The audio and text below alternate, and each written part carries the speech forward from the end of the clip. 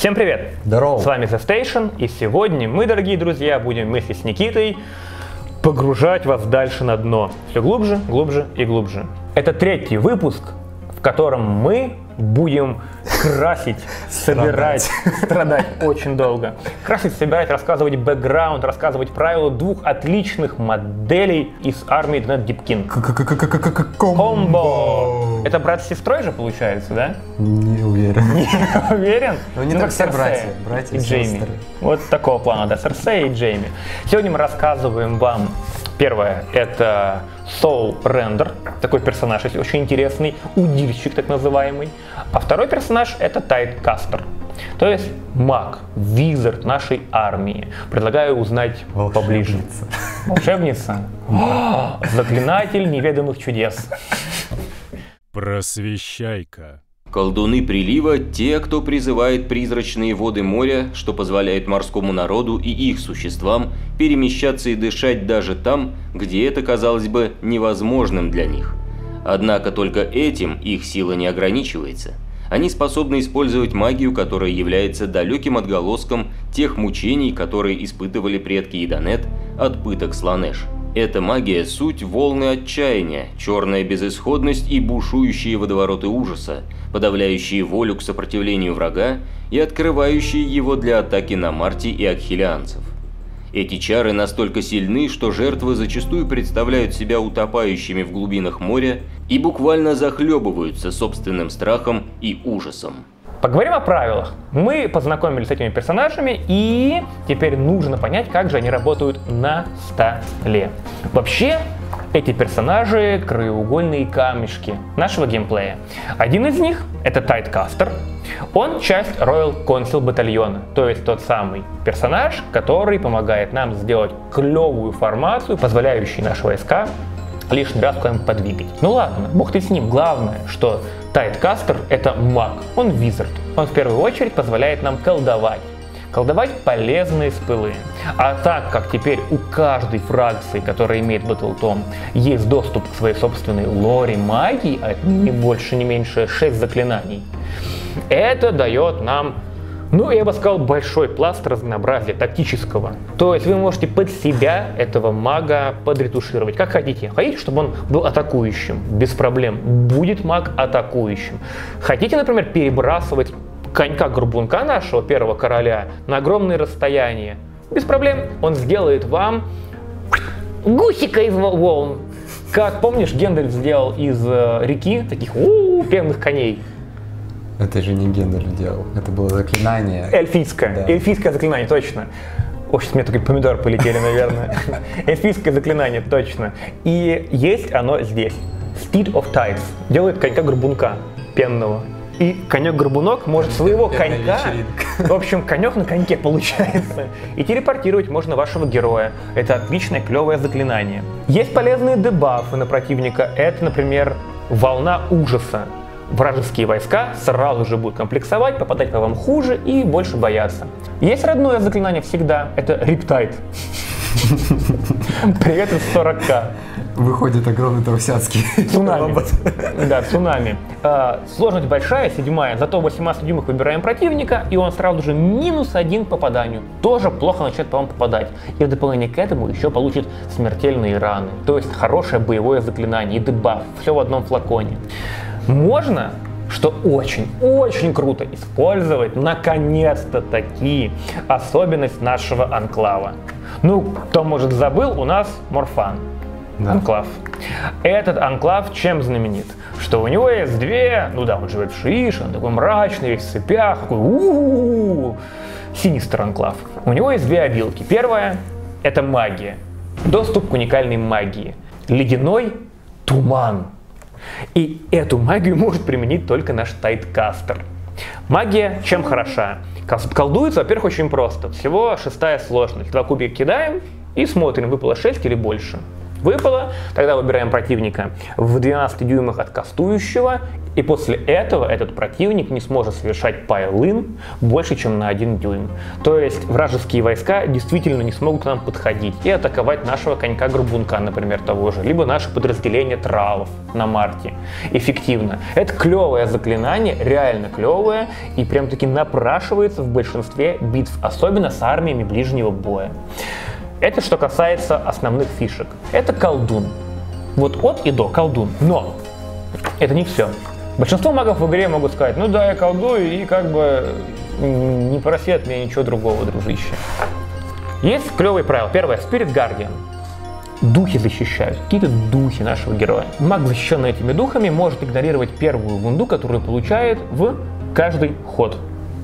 Ну, то есть песочными часами смерти нельзя его убить потихоньку.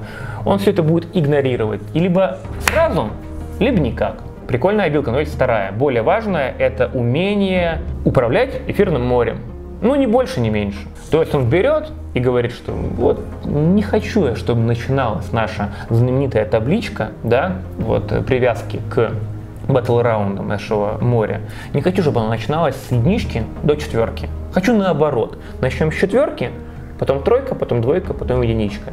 То есть он эфирные потоки вспять обращает но только если он, конечно же, генерал нашей армии. Что накладывает определенные ограничения, потому что генерал нашей армии, скорее всего, будет конек Горбунов. Но опция есть, и это круто. И это может просто изменить всю тактику. На меньший формат можно. Да, именно так. Это опция, которая позволяет вам по-другому сыграть с другой армией оппонента. Потому что эфирное море это очень клевая тактика. Я бы сказал, краеугольный камень. Эта тактика позволяет вам либо по базе выжидать, подготовиться, потом резко пуститься в атаку, подраться, причем везде первыми, а после этого отступить, пострелять, либо сразу же в другой бой куда-то отправиться. Ну, как прилив идет. А можно развернуть ход. И сразу же, когда в тебя принялась какая-нибудь армия противника страшная, вот сразу же на свой ход уже отступить, пострелять, в другом месте атаковать. А потом в следующий раз первыми подраться. То есть крутая обилка, реально крутая, но необходимость быть генералом, вот это вот немножко все портит. А так 5 жизней, шестое движение, никакого спасброска нету, ну и сражается он соу-соу. На полшишки, скажем так. Не боевой персонаж. Там ничего не сказано про ее рыбку. У них же все время рыбки какие-то прикольные. Это Spirit Guardian. Да? Да, это эфирное море проецирует некоторых, ну, таких Существ призрачных из существ. миров. Да, да, которые защищают. Понятно. Так что такие пироги.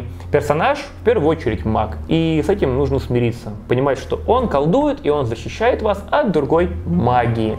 Плюс есть доступ к прекрасным артефактам. Так как у нас в армии два батальона, мы по базе можем взять уже три артефакта в армию. И это круто, потому что артефакты реально неплохие, и там ну, большой выбор. Просто большой выбор, что кому дать. Например, можно дать Пески бесконечности. Интересный артефакт, который раз за битву, как большинство магических артефактов, используется, но позволяет вам взять и на кого-то что-то успешно наколдовать, использовать, Ну, Посыпать. посыпать, приправить магию свою. Если вы решились активировать их, то перед тем, как вы колдуете какое-то крутое заклинание, вы говорите, а, рискую, и присыпали песками времени. Если вы скастовали это крутое заклинание, то наработать будет два хода, а не один.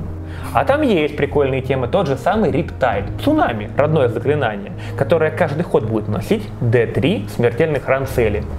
Это круто. Либо, например, коралловое кольцо на свой пальчик. Хопа! И такой, одноразовое, можно переролить. Можно перебросить любой бросок на заклятия свои, либо любой бросок на попытку обидеть. Прилично, Ваня, хватит. А, ну давайте так. То есть выбор всегда есть, и это очень круто. Посмотрим на второго парня из нашей вот плеяды. А давай. Это Ишаран Солрендер, выдирающий души. Просвещайка. Разрыватели душ – необычные представители элиты Ишаран, которые обучаются наравне с акхилийцами и выступают на передовой сражений. С их шлемов свисает небольшой фонарь, его призрачное сияние заманивает и поглощает души. Вооруженные копьями, заканчивающимися огромным крюком, известным как Талунхук, разрыватели душ сражаются бок о бок с воинами на Марте, подпитывая своих собратьев энергией, собранных во время сражений душ. Канат, прикрепленный к оружию, идеален для задержания противников, пытающихся бежать. Каждого разрывателя душ сопровождает ракердарт, похожий на рыбу меч компаньон, извивающийся у ног хозяина и готовый сразить жертву своим острым шипом. Зловещий мужик, согласитесь. Чем же он хорош? Он может подраться в ближнем бою очень неплохо, как ни странно. Своим огромным, ну, в нашем случае, это будет такой крюче. Ну да, По базе у как- него как- удавка. как обычно. собак. Собак диких ловить. Вот. Штука неплохая. Две атаки 3 плюс. 3 плюс минус 1, 2 урона. Главная дистанция 2 дюйма. Можно не суваться в ближний бой. Особенно прикольно, когда наколдовал заклятие, замораживающий туман, и противник даже в лучшем случае не подойдет вас ударить. Это клево. Камбушки. Камбушки пошли, да, именно так. Плюс у него есть огромная Рекер Дарт Камбала. Да, рыба пила. Рыба-меч, Рыба- рыба-пила, да. рыба-игла, марлин. Все вместе. Это на 3 дюйма бьющая рыбка такая кольнула своим носиком и отошла. Поньк. D3 атак, 3 плюс, 3 плюс, минус 1, 1 урон. На сдачу вообще шикарно. И правило Handsman Not. Если вы уж кого-то подвесили, но по- поймали этими крючьями либо удавкой, то тяжело будет противнику высвободиться. На начало комбат фазы кидайте 2 кубика. Если нашли на кубике 4 плюс, то окей, вы поймали цель, и по ней можно будет перебросить неудавшееся попадание. Очень клево. Если герой монстр, ну вражеский, это работает только на героев, то это будет посложнее. Но, в принципе, неплохая фишка. Ну и самая важная его способность. Это не четвертый спас-бросок, ну типа тяжелая броня, не 5 жизней, нет, нет, нет, нет, нет. Это его Lure Light, то есть этот светильничек, который, в общем-то, и собирает души.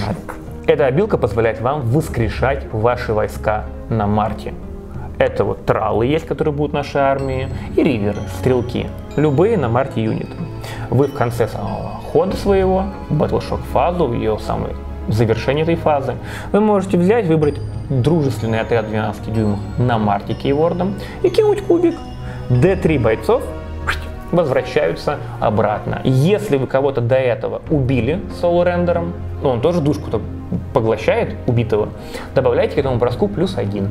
А потом вспоминаем, что у нас есть прекрасная способность нашего любимого морфана. Это мужики, которые в Шиише живут и специализируются это вот некромантия, души, нагаш, вот все с этим связано, да, загробные царства.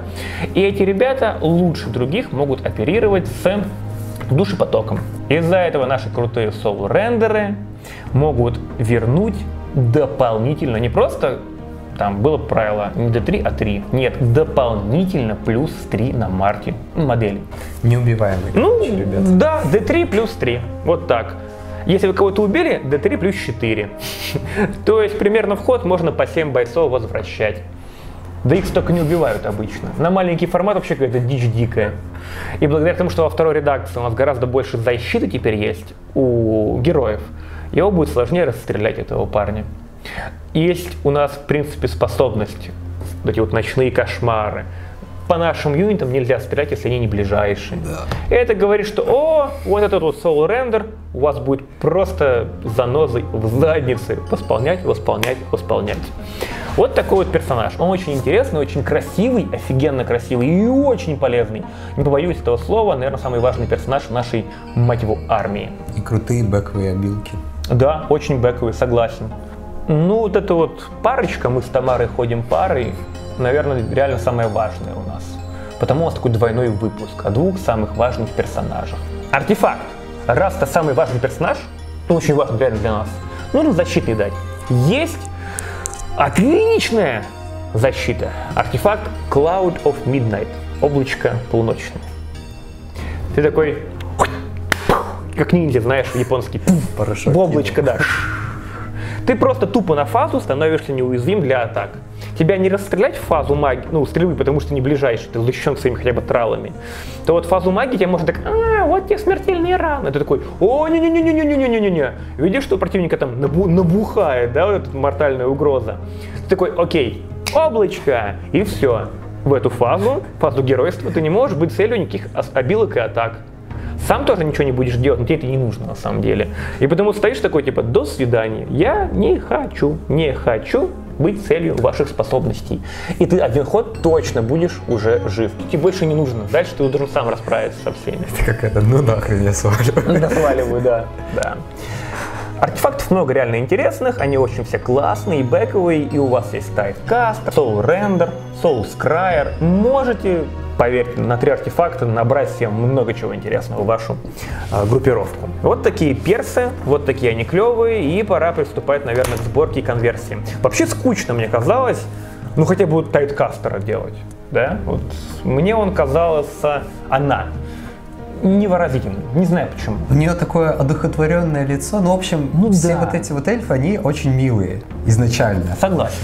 А мы-то делаем крутых, злых У нас Морфан, который наполовину Дарк Эльдар и Дарк Эльф, если Поэтому, соответственно, мы постарались э, как-то воплотить нашу идею, задумку и атмосферу, которую мы изначально хотели, а, которой мы изначально хотели придерживаться в концепции нашей армии. У меня был план, я его придерживался, ты об этом хочешь да. поговорить? И, соответственно, какие конверсии мы будем делать? Это мы заменим вот это вот одухотворенное лицо, э, сделаем а, более жестокое, более серьезное, крутое и э, такое как раз-таки в стиле темных э, эльфов.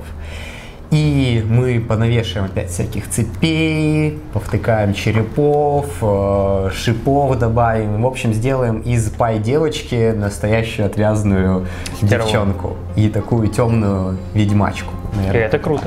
Это, кстати, очень круто. Мне кажется, добротная идея нужно реализовывать. Потому что, действительно, ну как-то Марфану в этих белоснежных тонах быть не ахти. С другой стороны, это даже клево, что из модели Games Workshop, вот вы увидите, мы можем получить два разных буквально такие юнита, героя, которые будут реально по атмосфере отличаться. Это будет прям очень здорово. Тогда перейдем ко второму герою. Это Soul Render. Что же мы с ним-то будем делать? Ну, вообще, он уже сам по себе такой весь шипастый, весь э, мрачный, а, а, да, мрачный, атмосферный, поэтому тут не стоит, наверное, перегибать. Да. Но мы заменим, скорее всего, вот эту вот его петлю на цепи, как мы любим. И э, в эти цепи добавим какого-нибудь бомжа, который уже на последнем дыхании выпрыгивает из этого моря и э, его к себе подтягивает Get наш over here! душелов. Да, какой-то Mortal Kombat Скорпион прямо. Да, да, да. То есть этот парень подвергнется минорным конверсиям, да. но скорее такой полудиаграммный получится в итоге. Ну, атмосферы добавим. Отлично. Это же и хорошо, это и важно. Предлагаю посмотреть, что же вышло у нас со сборкой традиционной, клей кусачки вперед и конверсией. И так, как всегда, у нас первый этап это сборка, зачистка миниатюры, подготовка к покрасу. Недолго думая, приступаем сразу же к конверсии. Все тут собирается очень просто, как всегда. Начнем мы с парня Soul Render. Главная у нас конверсия здесь это заменить часть его веревки, которая висит на конце э, алибарды и поставить туда наши любимые цепи с крюками. Это будет выглядеть интересно и как раз таки соответствовать духу нашей армии. У нас цепь вообще получается такое связующее звено э, между всеми героями и всеми юнитами. Так как у него и так дофигища шипов и всякого обвеса, в принципе можно тут э, ничего другого и не добавлять.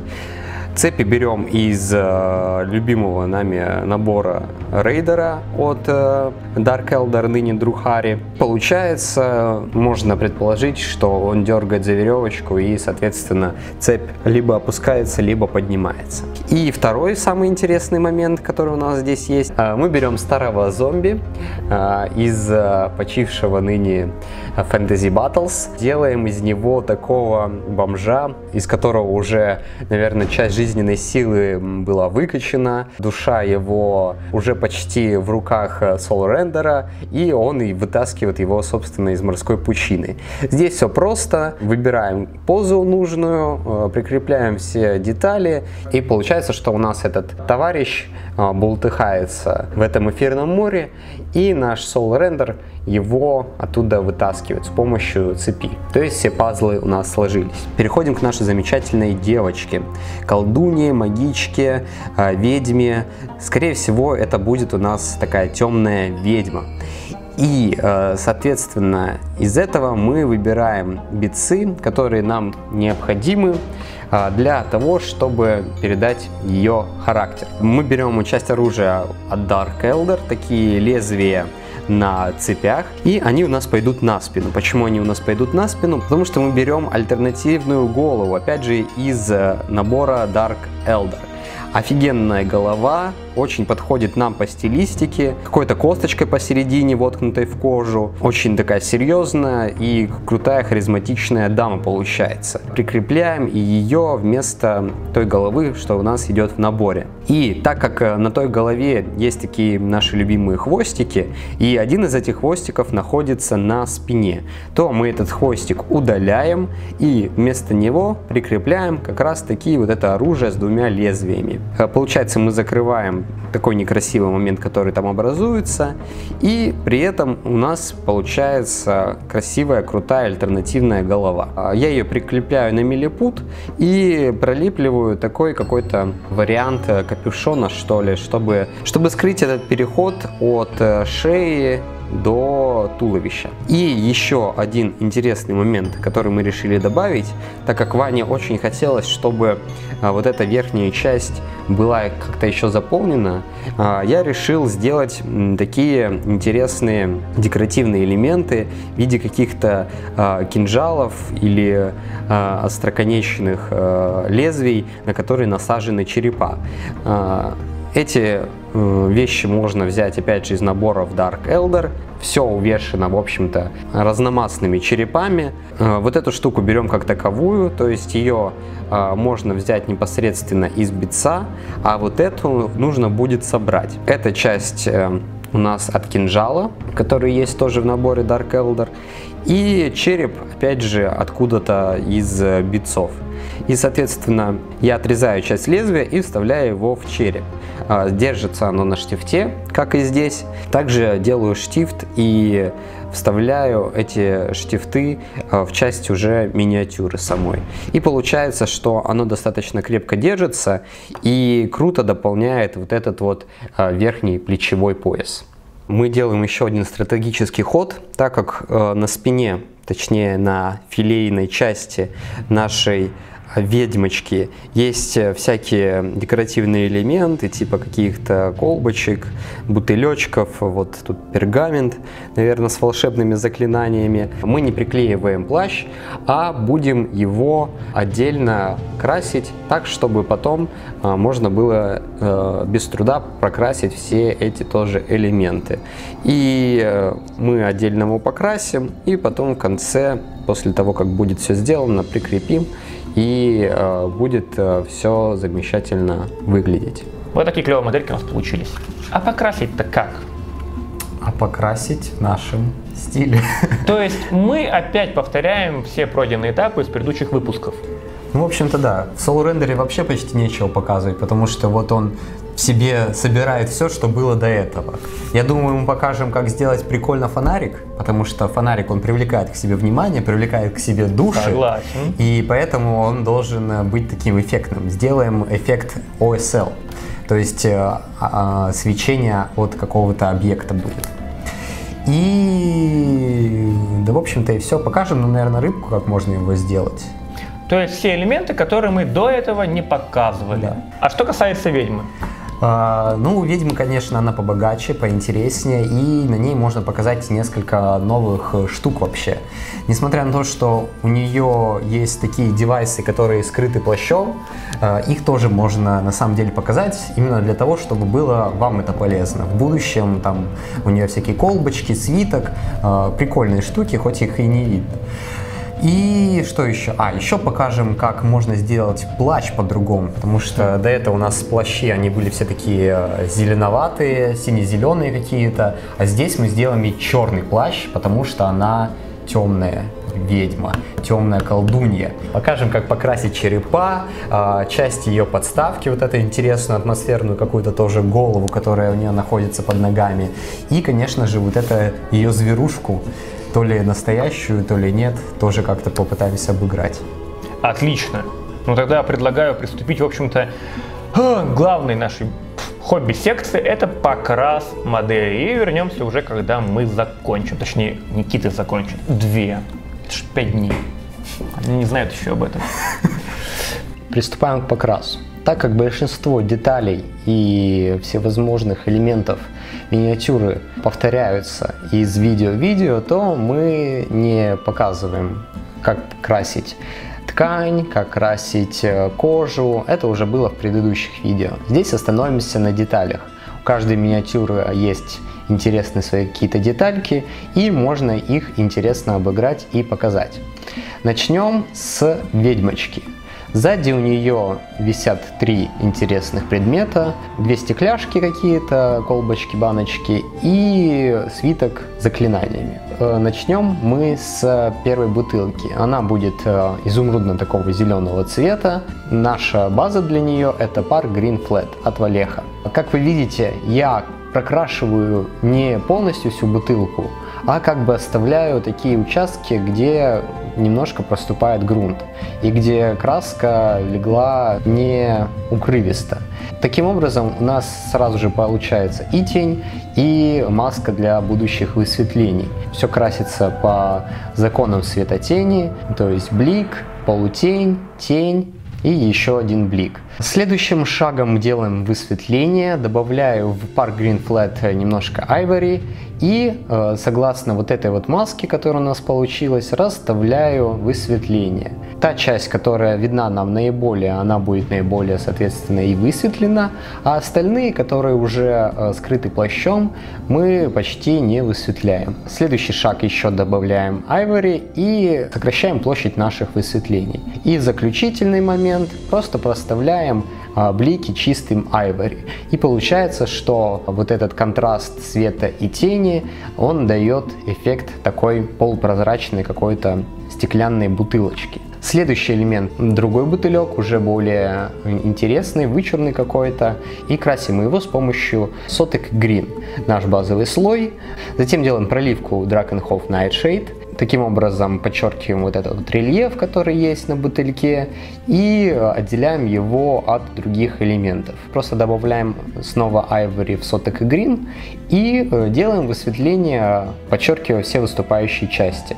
Стоит отметить, что вообще можно, наверное, даже и не красить этот бутылек, потому что он скрыт плащом. Но чтобы показать, э, как другим способом можно покрасить такую стекляшку, то я решил это продемонстрировать. Наконец у нас остался свиток папируса. Он э, висит на веревочке, на которой висят и бутылечки. Соответственно, начинаем с покраса самой бумаги.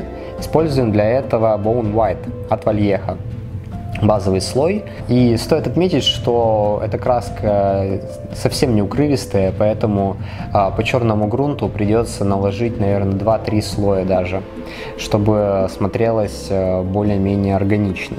Затем проливаем атонин камашейдом, разбавляю его, как всегда, ламиан медиумом, тинером от Валеха. Выбирайте, что хотите, что для вас доступнее и приятнее. И получаем такой зеленовато-коричневый оттенок, и как будто бы этот свиток находился в какой-то библиотеке уже многие сотни лет под водой, пропитался вот этой какой-то влагой, и несмотря на то, что у них там своя магия и, наверное, свои какие-то физические законы. Но не суть. Добавляю в Bone White Ivory и делаю высветление. Чисто по граням прохожусь, проявляется рельеф. Не забываю прокрасить веревочку. Основа для него это Flat Earth от Валеха. И высветляю его точно так же добавляя Ivory.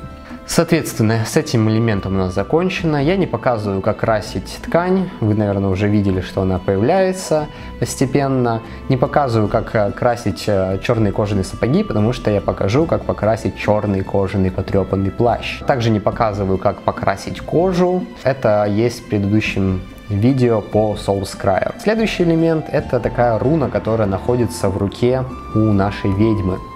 Я решил ее сделать такого магического светло-голубого бирюзового оттенка и использую для этого смесь соток грин и э, достаточно много белого. Получается такой светло-голубой оттенок, э, прокрашиваю им деталь и как бы делаю еще небольшой эффект свечения, то есть добавляю вот этот оттенок между пальцев, пространство, откуда мог бы исходить свет соответственно, от этой какой-то магической руны. Потому что я не знаю, либо она какая-то материальная, либо действительно какой-то э, такой волшебный знак, который она сотворяет из воздуха. Продолжаем эту тему, добавляем еще белого и делаем высветление по граням и э, расставляем э, блики соответственно. Не забываем также про наш эффект свечения и точно так же выделяем вот это пространство между пальцами и постепенно-постепенно у нас проявляется как раз таки эффект вот этой светящейся какой-то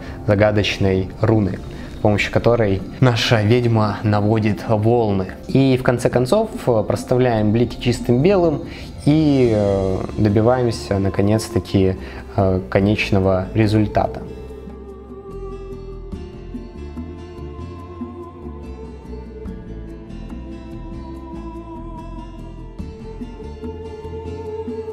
Итак, следующий у нас элемент – это раковина на конце посоха нашей ведьмы. Будем ее делать такой перламутровый. Для этого используем цвет Heavy Blue Gray от Вальеха. Базовый оттенок. И затем делаем проливку Drakenhof Nightshade. Также я ее разбавляю, как обычно, тинером или ламиан медиумом, чтобы подчеркнуть еще вот этот элемент, такой знак, который есть на этой ракушке. Прохожусь дополнительно именно точечно по нему. Затем, после того, как проливка высохла, добавляю в Heavy Blue Gray немножко Ivory, как мы любим, и делаю высветление по граням этой ракушки. Затем беру чистый Ivory, проставляю конечные блики. И получается у нас такая замечательная ракушка.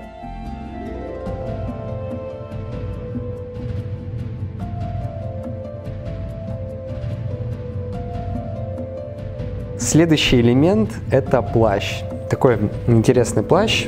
Немножко отойдем от нашего канона и сделаем его черным тон, в общем-то, нашей темной ведьме. Для этого я добавляю в черный Heavy Blue Gray, уже нам известный, и делаю первое высветление по грани. Так как у нас тут такие четко очерченные грани, можно сказать почти квадратные, я подумал, что интересно будет показать на них э, всякие эффекты.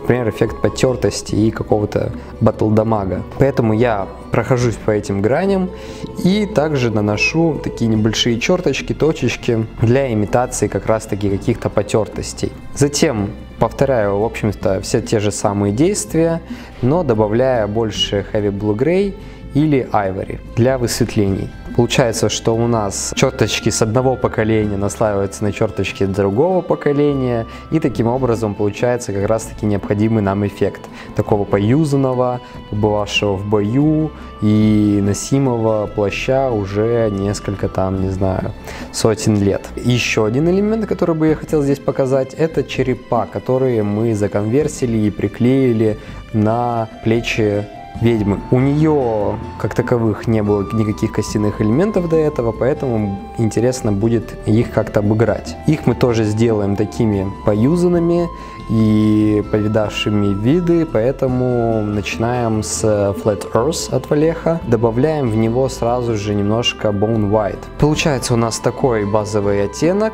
и проливаем мы его браун инком от Вальеха. Все углубления, глазницы и прочее, для того, чтобы потом нам было легче высветлять.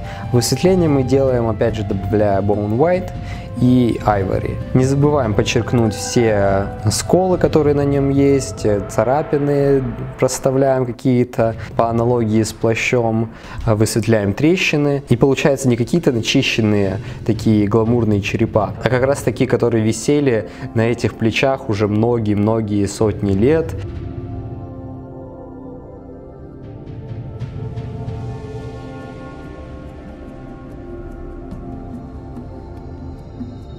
И заключительный у нас здесь элемент – это рыбка. Рыбка достаточно необычная, но ничего сложного в ее покрасе нету. Я беру цвет Electric Blue от Валеха и э, наношу его как базовый оттенок.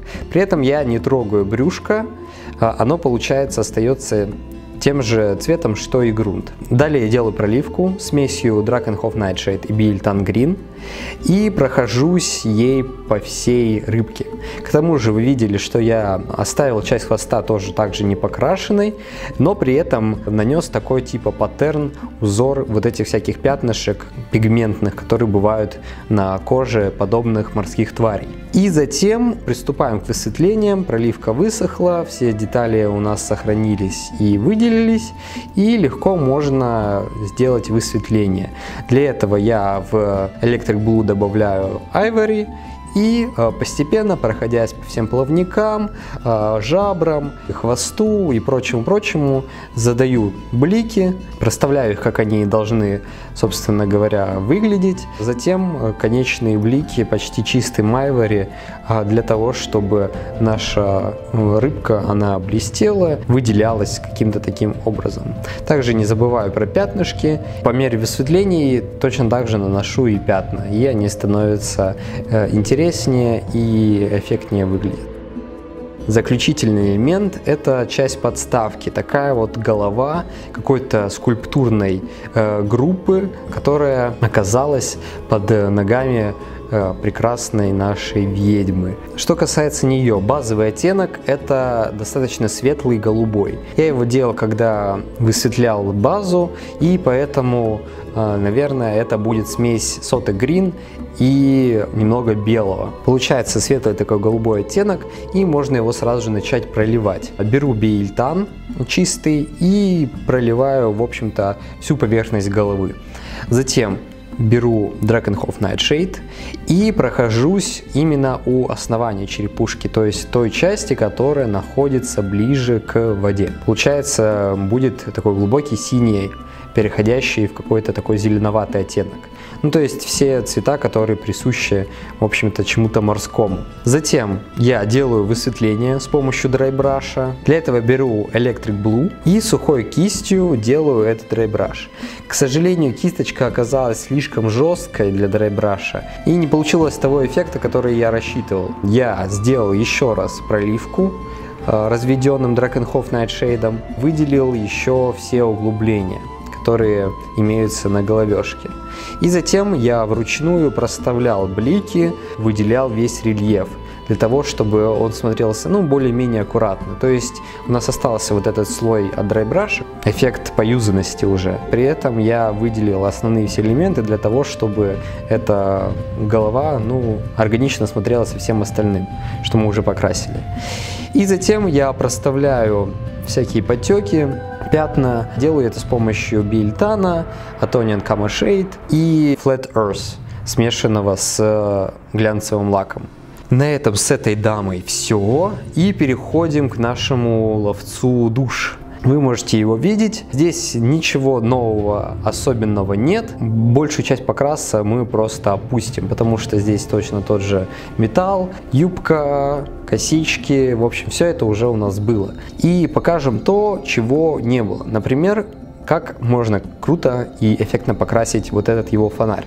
Для того, чтобы оформить этот фонарь, я использую краску Park Green Flat от Валеха. Это у нас базовый слой. Ничего страшного, если вы будете заходить на вот эти вот уже покрашенные металлические грани. В принципе, мы будем делать такой эффект типа OSL то есть Object Source Lightning. Это эффект, который позволяет добиться того самого свечения какого-то, что ли, от э, объекта, который этот цвет излучает. Нам никаким образом не помешает тот факт, что мы заехали на те или иные поверхности, потому что получается как раз-таки тот самый какой-то рассеянный свет, который исходит от этого фонарика. Затем я беру биильтан и делаю проливку всего рельефа. Для высветления я беру Park Green Flat и добавляю в него такую интересную краску, как Livery Green. Чем эта краска интересна? У нее достаточно плохая укрывистость, и что-то большое ей покрасить будет очень сложно, наверное. Но она отлично подойдет для передачи эффекта какого-то свечения интересного именно, потому что у нее такой ядовитый зеленый оттенок. И используя ее и замешивая в Park Green Flat, я как раз таки добиваюсь вот этого эффекта свечения. Получается насыщенный зеленый ядовитый ядовитый зеленый оттенок, такой цветомаркера, что ли, выделителя. Также я прохожусь не только по фонарю, но и по части вот этого вот выступающего на носу шлема гребня, чтобы показать как раз таки, как рассеивается свет. И постепенно, выделяя все детали, я добиваюсь как раз таки обозначенного нами эффекта. Еще один элемент это рыбка, которая здесь тоже типа рыба-меч, рыба-пила, какой-то такой марлин в общем. Красим его достаточно просто, всеми уже известными красками. Я беру пар Green Flat для базового оттенка вот этой кожи и э, прохожусь по нему смесью Biltan Green и Drakenhof Nightshade э, в несколько слоев, при этом затемняя больше вот его пузика. И э, затем я делаю высветление. Сота Green я добавляю э, белый и прохожусь по граням, обозначенным на самой миниатюре. То есть у нее такой интересный ламинарный, наверное, какой-то рельеф. То есть она состоит из э, разных ячеек, и по этим ячейкам я и прохожусь. Далее заключительное высветление. Здесь проставляем блики, добавляю еще больше айвори в сота грин и добиваемся как раз таки какой-то блестящей чешуи. А заключительный у нас элемент здесь это черные плавники и морда. А, делается элементарно, как всегда добавляем в черный айвори, проходимся по всему рельефу, делаем высветление на гранях и не забываем проставлять конечные блики почти чистым белым.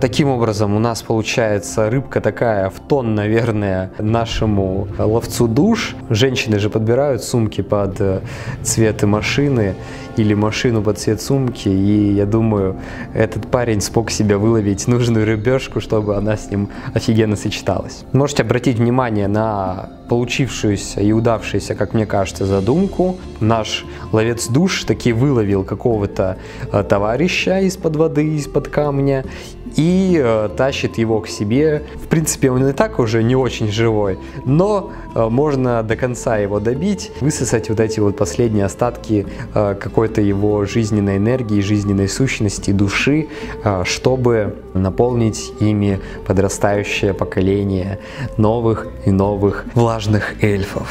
В итоге, что мы имеем? Двух героев, мы осилили, осилили, в общем-то, всю геройскую нашу базу.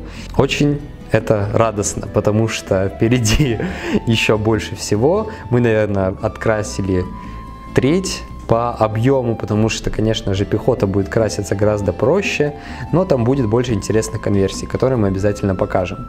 Также будет интересная акула, уже не говоря о черепахе и муренах, которые которых мы тоже постараемся интересно законверсить и добавить им больше динамики и интересных э, поз.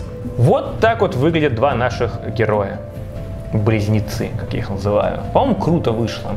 Вышло неплохо, и этим мы завершаем секцию героев. Слава тебе, Господи. Наконец-то. Наконец-то мы не будем красить уже одни и те же элементы брони, лица, а перейдем к морским тварям. Выпуск этот двойной, потому что если бы мы рассказывали о каждом герое, мы бы мало рассказали. По куцам бы вышло. Конечно. Потому что техники смежные становятся. А вот когда будем красить акулу, это своя техника. Мурены, это тоже свои, свои собственные фишки. Как в покрасе, так и в конверсиях. Ну и в конце концов черепаха, это вообще отдельный мир будет. Отдельный. Да. Ну а наши тралы на марте, их просто много. Да. Там будет и конверсии. Мы покажем, как мы законвертим. Там больше в конверсии, конечно. Да. А покрас уже них... будет, по сути. Да. Ну, кожу как попроще, попроще кожу сделать. Да. В Soul Scryer мы там, да. по-моему, кожу делали. Очень наглядно было. Так или иначе, спасибо, что вы посмотрели этот выпуск. Лайкайте обязательно, комментите в первую очередь. Без лайка и коммента, ну, это просто обидно будет, видите. Жмите на эти колокольчики. Да, сегодня я сижу, получается, справа, и как-то я прям в новой роли не, не очень себя чувствую, мне неловко прям. Вот. Э, жмите на колокольчики, подписываемся на наш канал. Если вам нравится хобби, нравится варгеймы, нравится Warhammer, клевый террейн, клевый покрас, конверсии, то вы попали, мне кажется, по адресу. А еще у меня есть группа ВКонтакте. Ну, дай бог, она будет внизу вот там вот в описании. Можете на нее щелкнуть, зайти и посмотреть на паблик Никиты, Да, который не кстати, вы- обслуживается. В смысле, все Уже как, наверное, Все там отлично, ребят, заходите, гайды, хорошие фоточки ну гайды есть. э, этих миничек тоже там будут обязательно. Ты же привязан к поэтому, батарее, если уже. э, Прикован, Прикован, конечно, все это красит. точнее. Так Ладно. что увидите там. Да, конечно же, к Никитке заходите и в инсту, и в паблик ВК. Увидимся с вами через неделю. Как я и говорил, выпуски примерно раз в неделю будут выходить. И следующий что будет? А, Опять же, может, в комментах пускай проголосуют за что. Ну, акула. Спасибо, что проголосовали в комментах за акулу. выбора, демократия это не Следующее наша. будет акула. Всего вам доброго, до новых встреч и хорошего вам настроения. Играйте на хорошем террейне. До свидания. Пока.